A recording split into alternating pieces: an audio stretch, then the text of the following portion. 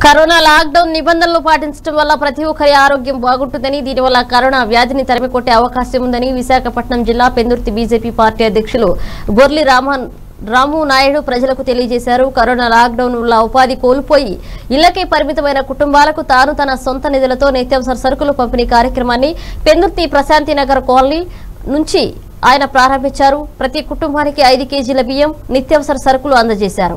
ఈ సందర్భంగా ఆయన మాట్లాడుతూ లాక్డౌన్ వల్ల అన్ని వర్గాల ప్రజలు ఉపాధి కోల్పోయి ఆర్థికంగా ఇబ్బంది పడుతున్నారు అని అన్నారు.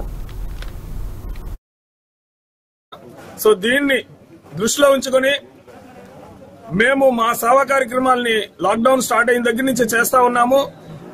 ఫుడ్ ప్యాకెట్స్ అయితేనేమి నిత్యావసర వస్తువులేమి ఇవన్నీ కూడా ప్రతి వార్డులో ఉన్నటువంటి ప్రతి ఒక్కరికి చేరేటటువంటి నలుమూలలో మేము పంపిస్తా ఉన్నాము.